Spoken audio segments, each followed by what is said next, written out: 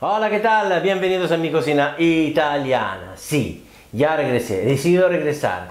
No porque mi canal tiene miles de miles de millones de visualizaciones, no, pero he decidido regresar por los mensajes que me han enviado ustedes que de verdad me tocaron el corazón. Entonces digo, bueno, no somos todos los que queremos que yo sea, eh, pero somos los electos, los elegidos. Somos, y ustedes me han demostrado su afecto, su amor, y, cómo puedo yo no, no, no hacer nada para poderle agradecer. Entonces, eh, haré la, mi, mi video receta en italiano, también haré mi video receta en español. Que seamos 4, 5, 8, o miles, o dos mil, o un millón, a mirarlo no me importa. Lo que me importa es abrazarlos a todos ustedes porque su afecto, su cariño me tocó de verdad el corazón. Entonces estoy aquí con otra video receta y de aquí para arriba, para adelante. Ole. Hoy día vamos a hacer una receta increíble, espectacular, una que yo amo muchísimo. Se llaman mm, espagueti con crema de berenjena. Eh, hay otras diferentes recetas que he hecho con la berenjena que son riquísimas, exquisitas y todo eso. Esta es diferente porque muy pocos ingredientes pero el resultado que vas a obtener es algo increíble. ¿Estás listo? Entonces, ven acá, sigla, vamos a ver la lista de los ingredientes y comenzamos nuestra preparación. Lo quiero mucho. Ya.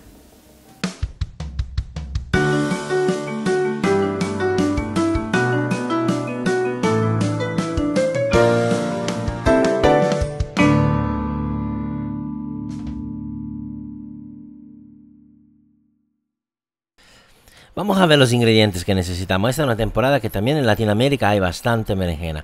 Necesitamos dos berenjenas, más o menos unos 500 gramos. 200 gramos de tomatillo.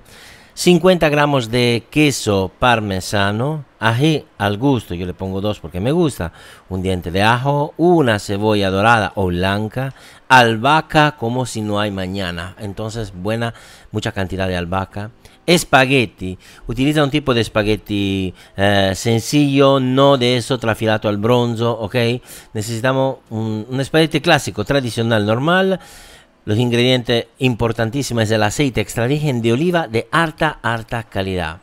Sal, pimienta y el secreto de esta receta es la nuez. O sea, son las nueces.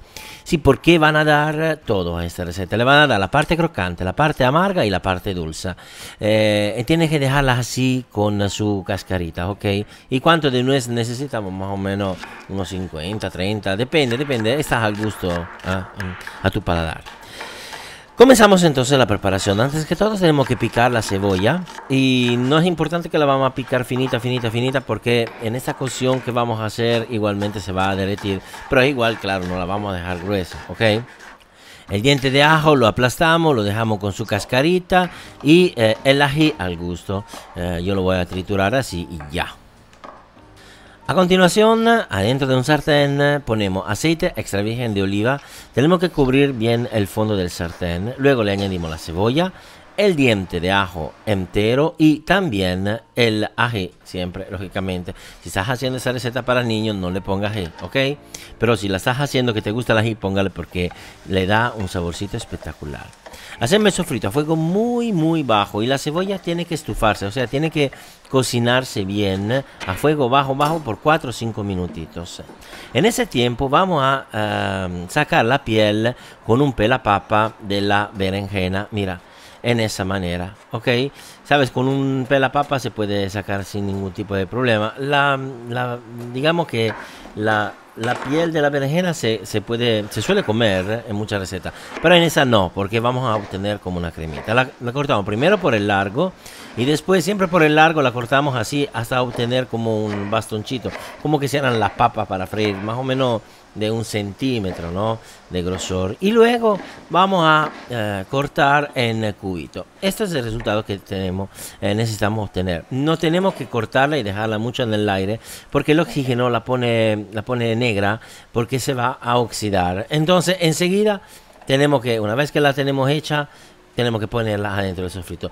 Pero como que el sofrito tiene que cocinar antes un poquito por esa razón primero hacemos el sofrito fuego bajo después empezamos a a preparar la berenjena y a dejarla así, perfecta. Si tienes una berenjena con bastante semilla, hay que eliminarla esa semilla, ¿ok? Ahora que la ponemos aquí en el sartén, eh, yo le pongo un poquito más de aceite porque no se está moviendo bien, entonces le falta un poquitito. La berenjena es como una esponja, absorbe mucho lo que le da. Pero en ese caso tenemos que sacar una cosa, o sea, el líquido de vegetación que tiene. Y para hacerlo le ponemos sal, entonces hay que ponerle una buena cantidad de sal. Eh, en ese caso, normalmente yo te digo, cada ingrediente necesita su porcentaje de sal. En ese caso te digo, póngale un poquito más, porque también le vamos a poner ahorita la sal que se pone normalmente también para los tomates. ¿Ok? ¿Por qué? Porque la sal... Eh, permite que los líquidos de vegetación eh, salgan afuera y seguimos esta cocción a fuego bajo, ¿ok? Porque la berenjena tiene que sudar, tiene que dejar salir afuera sus líquidos. Los tomates lo, lo picamos eh, y antes de poner adentro los tomates hay que esperar un ratito porque como puede ver la berenjena cuando le ponemos la tapa ya empieza la sal y todo eso ya empieza a dejar salir afuera su propio su propia agüita, su propio líquido de vegetación, que es un amargo feo. Entonces ya así lo vamos a eliminar todito. Pero todavía le falta. No tenemos que ponerle enseguida los tomates. Solo tenemos que ponerle los tomates cuando te das cuenta, como yo lo hice, cuando ya se empieza a casi a pegar. O sea, ya casi no hay agua. ¿Ok? Entonces por eso que la berenjena tiene que cocinar digamos unos 2-3 minutitos solita en el sartén. Luego le pone la tapa, le bajamos por si acaso, si, si, tenía el fuego un poquito alto, el fuego y hacemos así la cocción. Ahora tenemos que hacer el mismo trabajo de antes, o sea, tenemos que em, esperar que se empiece a pegar todo eso, o sea, el tomate, la berenjena, otra vez al sartén. Como puede ver ya el diente de ajo ya lo eliminé porque ya su trabajo lo ha hecho, su sabor lo dejó y en el momento en que, mira el fondo del sartén, mira, en el momento exacto en que se empieza a pegar, no que se pegue, ok, porque no queremos que se pegue, pero que se empieza a pegar, ahí sí, ya está listo, ya podemos eh, seguir con la preparación. ¿Y qué le vamos a añadir? Agua, simple, pura agua caliente. Ok, esta es la olla donde después voy a cocinar la pasta. Pero todavía no tiene sal, no tiene nada, solo agua caliente. Y le ponemos 3, 4 cucharones. ¿Qué pasó? Ya te explico. Cuando se va a deshidratar y se va casi a pegar, hay una reacción química eh, de, estos ingredientes que permiten la concentración de los sabores. La concentración, eliminación de los defectos y concentración de los sabores ricos. Le ponemos el agua para que se van a distribuir otra vez estos sabores, ¿ok? Y que van a ser parte de la cremita. Muy bien. Hacemos así. Estos tiempos de cocción de la berenjena con el tomate, más o menos, es unos 10, 12 minutitos. No tenga, no tenga prisa. No, no hay un tiempo preciso porque depende. Cada tipo de berenjena tiene su tiempo de cocción, así como también cada tipo de tomate. ¿Ok? Pero, como puede ver, en 40, 50 segundos ya toda el agua que yo le puso ya desapareció. Porque la berenjena es como una esponja y un poco la absorbió y un poco se evaporó. Ahora le voy a añadir otra agua caliente sin nada, ¿ok? Sin sal, sin pasta, sin nada. Solo pura agua caliente. La dejo cocinar hasta que se obtenga ese resultado. Ahorita voy a averiguar un poco la berenjena y te das cuenta que ya se va a derretir totalmente. Ya se está formando como una cremita solita aquí adentro. Pero lo que queremos nosotros es una crema de verdad. Ok, ya tú le puedes poner la pasta aquí y te queda riquísima. Ok, pero si quieres hacer la, pasta hecha así como lo estamos haciendo hoy día, tenemos que poner tres cuartos de esta berenjena con tomate adentro de una licuadora. No toda, una parte la dejamos en el sartén porque es también rico encontrar pedacitos de berenjena cuando vamos a comer, porque estos se van a abrir, te van a, llenar el paladar y todo eso. Entonces, esa parte la dejamos ahí, fuego bajo, seguimos la cocción. Y esto lo vamos a licuar totalmente. Si por si acaso está demasiado seco eh, o espeso, le puede añadir un poquito de agua de cocción, eh, de agua, no de agua de cocción de la pasta, de agua, un poquito de esa agua caliente. Pero seguramente hay que añadirle albahaca, la otra parte de la albahaca, ¿te acuerdas? Que yo te he dicho bastante albahaca y un poquito de aceite extra virgen de oliva. Es como un pesto lo que estamos haciendo en ese momento. Es una cremita particular que tiene un sabor de verdad increíble y único. Em, una vez que ya la hemos licuada bien, bien, bien, la vamos a verter otra vez adentro del sartén, justo con la otra parte que queda un poquito más, eh, más gruesa. Aquí adentro del vaso de la licuadora le voy a poner un poquito de agua. Todavía es solo agua sin agua de cocción de la pasta. Y te explico por qué después eh, no se pone agua de cocción de la pasta adentro. Un poquito de agua caliente para limpiar la parte de los cuchillos de la licuadora y también para limpiar el vaso de la licuadora. Y esa agüita ahí otra vez la pongo adentro.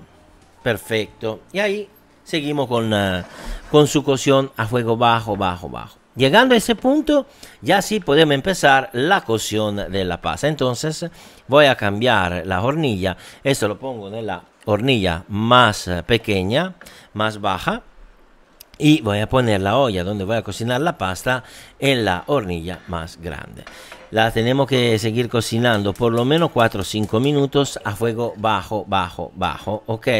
Y con la tapa. Así que va a, todos los ingredientes se van a mezclar, se van a unir y vas a tener un sabor y una cremosidad, una textura particular. Bueno, la olla donde le pongo, le voy a cocinar la pasta ya, eh, el agua está hirviendo, le añadimos la sal y le voy a poner los espaguetis.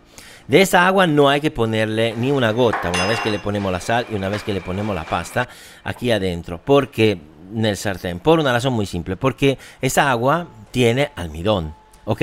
Y ya esa salsa que estoy haciendo es bastante espesa. Entonces, eh, si quieres que necesita agua, póngale agua normal. También agua fría no importa, pero no le ponga para nada agua de cocción de la pasta con almidón, ¿ok?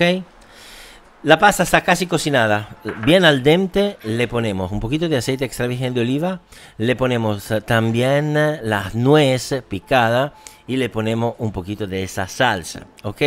De ahí aceite extra virgen de oliva otra vez y mezclar, mezclar, mezclar. Luego le añadimos también el queso parmesano y mezclar, mezclar. Es como que estamos haciendo la pasta al pesto, ¿ok? La única cosa que es un, eh, no es un pesto hecho, es un pesto que vamos a construir en una bulla, ¿ok? Le pongo un poquito de, de, de esa cremita de berenjena, le pongo un poquito de queso parmesano y ya, ya estamos, ya está perfecta. Créeme, el sabor de esa pasta no es un sabor cualquiera, es una pasta que tiene alguna característica especial y la tienes que probar para darte cuenta de lo que estamos hablando. Le ponemos, no tiene que faltar albahaca, le ponemos la nuez, otra vez la nuez adentro, porque tiene que estar mezclada la nuez, porque la nuez tiene el dulce, el amargo, el crocante, y tiene todo, todo, todos los sabores tan, tan rico, tan, tan bueno. Y en esa pasta, como el pesto, se necesita una buena cantidad de aceite extra virgen de oliva porque eh, si no se queda demasiado espesa. También te la puedes comer con crostino de pan, esa salsita la puede utilizar como, como, base para hacer cualquier cosa, ¿ok? Eh, una lasaña, por ejemplo, ya otro día vamos a ver. O usted búscalo, invéntame y dime cómo te quedó. Para cerrar el plato, albahaca, nuez y aceite extra virgen de oliva. Y ya está. Muy bien, lo agradezco mucho por su atención. Le recuerdo de suscribirse a mi canal si no lo has hecho, de compartir este video con todos tus amigos y darle un like porque para mí es muy, muy importante. La cosa buena de esa pasta es que esta pasta se puede comer fría y es espectacular caliente y es súper espectacular. Yo la comí fría y caliente y me dejó fascinado. Me dejó fascinado porque la verdad estamos hablando de, una pasta que tiene un sabor, una textura, un, placer en el paladar que te llena el corazón. Es una pasta que yo creo entra las 10 mejor tipo de pasta que se pueden hacer eh, o que vas a hacer como en, en la propia receta, ¿no? Y bueno, bueno, bueno. Entonces lo agradezco mucho por su atención. Le recuerdo de suscribirse a mi canal si no lo has hecho, de compartir este video con tus amigos eh, y de darles un like porque para mí es muy, muy, muy importante. Dejar un comentario y compartir, compartir, compartir en todas tus redes sociales porque sí, es verdad. Eh, para mí es muy importante, me encantaría poder llegar por lo menos a un millón de suscritos en mi canal en español y también en mi canal en italiano. Y esto solo depende de usted. Yo he decidido que ustedes valen la pena, lo quiero mucho y por esa razón quiero seguir haciendo video receta en español. Y ahora a comer y lo dejo con la última parte del video en italiano. Chao.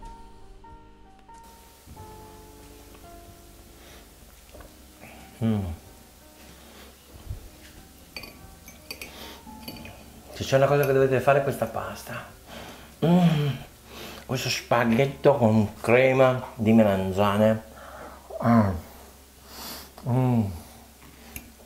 Mm. E ecco la sensazione, oltre proprio a, avete capito, no? Quello a, è proprio una sensazione di pulito, di freschezza. La noce gli dà quel suo contrasto quel, um, quel basilico, que, con quello però, eh, non l'altro. che delizia ragazzi, veramente, che piatto. Lo so che sono lungo nella prova dell'assaggio, ma c'è un motivo. Mm. Qual è? È che l'altra già me l'hanno fregata, quindi questa me la devo mangiare io piano piano. Se avete tempo fate qua con me. Mangiamo. È venuto, se non avete ricetta provatelo e dopo fatemi sapere come avete voluto.